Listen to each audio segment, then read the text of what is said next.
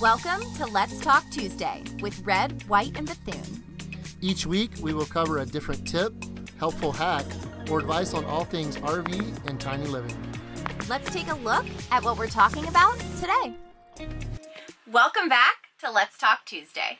In this episode, we're going to give our top eight helpful tips for RVing full time with dogs. Let's jump right in. Number one is shots. It is very important to get your pet's yearly shots done. Best way to do this is going through a place called ShotVet or something similar. What they do, they're a mobile vet, they're across the country, and you can go pay a fraction of what it would be at a regular vet to get their shots done. They still do a wellness check and all of that. What's really great is that they email you all of your dog's shot records. So you can screenshot them and save them onto a folder in your photos on your phone so that way you have their records with you all the time. So for number two, building a place or having a place in your rig for your dogs to be in their own secure spot is very important. We at least we feel like it is because you know when we leave or in the evening when we need or we're eating dinner, we want to put them up. You know, so you go, you can get creative here, but we opted to build a custom kennel inside of our rig because it was very important for us to have a place for them to go and be secure and feel comfortable. We've seen people build spaces inside of their dinette.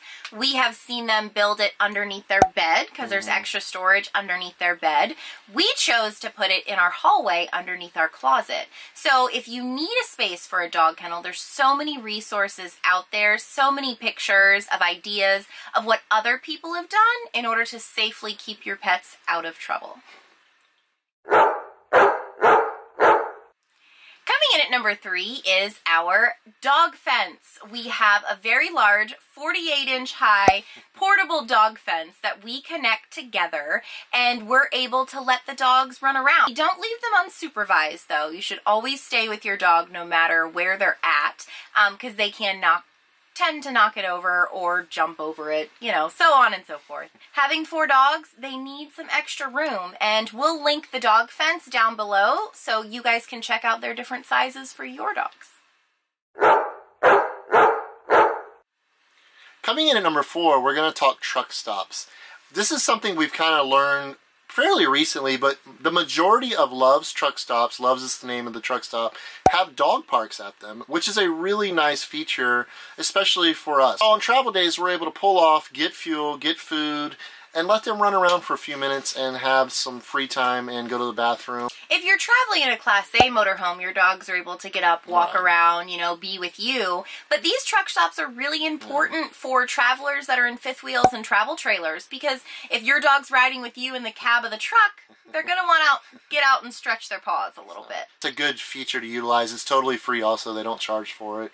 And they're usually really nice. They're usually chain link fence uh, usually have poop stations there, so definitely utilize those when you're on the road.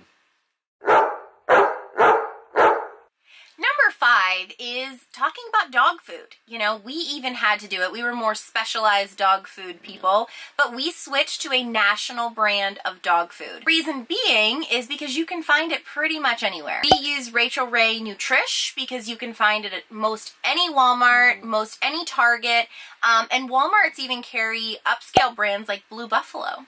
Yeah, it, we it was very important for us because I mean you're not always gonna be in areas with you know, holistic pet stores. And the main reason for us was finding being availability because you don't want to buy, you know, tons of it and have to store it. Walmart, Target do have gotten where they carry some better brands of food. We did our research and the Rachael Ray's Nutrish worked out pretty good for our dogs so far. Mm-hmm. Coming in at number six is a pet monitoring system.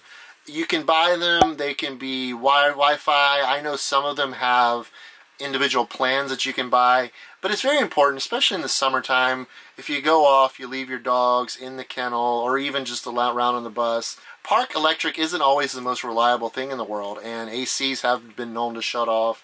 And this alerts you when the temperature, you can set your parameters, the temperature being too warm or too cold. Um, some of them even have cameras, so you're able to have, see inside your rig while you're gone. Important thing, because you know, you leave them here, you leave them helpless basically when you're not here. Nice peace of mind to have uh, you know, something there that will alert you if problem arises. You know, if your dogs are running around, there's more likely of a chance they'll be able to get out in an emergency. If your dogs are kenneled because they tend to get in a little bit of trouble, as ours do when they're left unsupervised, mm-hmm. this system is going to, you know, alert you if something is going on and you can call the park directly or a neighbor or something like that to say, hey, there's something going on in my bus can you go get my dogs out? So it's always good to be thinking about that ahead of time because, you know, we're out on the road. We do tend to go out to parks and things and be gone for extended amount of time. So number seven is one, it's kind of simple, but it also, but it's something that's going to help you along the way. Stock up on your poop bags. You can buy them at Walmart or Amazon, fairly inexpensive.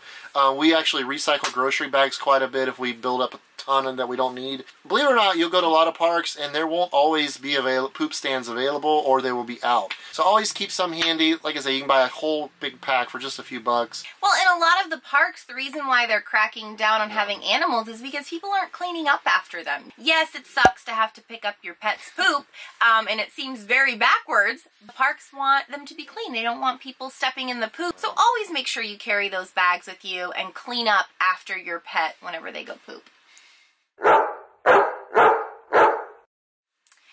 Number eight, if you have long-haired dogs like we do, they have to get groomed. Even if you just have short-haired dogs, getting them a bath regularly is very beneficial to their health. And what we do is, even though I was a pet stylist for 15 years, sometimes I don't want to do my own dog. I don't have the space to do it. And a lot of the campgrounds don't have self-serve pet washes. So what do we do when we don't have that? We go to PetSmart. The great thing about PetSmart is they're very, very safe. They have very high safety regulations.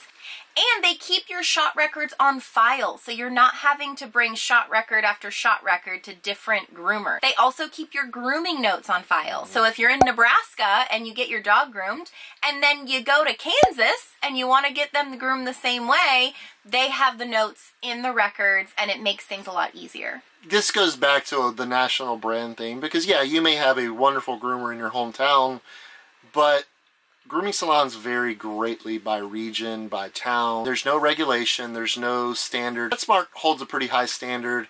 You'll find them most in most any larger city in the United States. So we found that's been an easy, safe alternative for us while out on the road, be, visiting different areas. Me being in the grooming industry for a very long time, I've seen it all, and I can tell you PetSmart is the safest place you can bring your dog, and at the end of the day, that's what's important. Yep. Well, as you guys may know, our dogs are very, very important to us. We travel with four of them on the road. We love them very, very much, and this list of stuff has really come in handy for us and made our lives simpler and easier while being on the road. These are things that we've you know, kind of learned on our own, things that we, you know, solving problems or issues that we run into. You know, dogs are a very important part of everyone's family, and um, yeah, we hope this video helped you guys. If you have any tips or tricks that you sure. did not see here, leave them in the comments below. Let us know what you thought of the video, and if you have any other ideas that we should be implementing with our pets. But that's going to wrap us up for this Talk Tuesday, guys. Thank you for watching, and we will see you guys on Sunday. Bye-bye. Bye.